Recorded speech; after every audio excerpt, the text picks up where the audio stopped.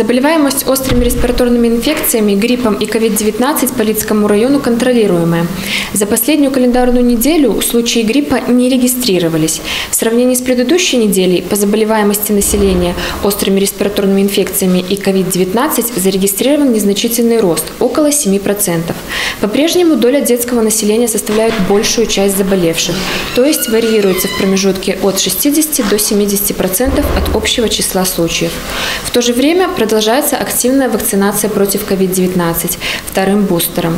Напоминаем, что вакцинация помогает поддерживать стойкий иммунитет только в случае своевременного ее проведения, поэтому не откладывайте вакцинацию на потом.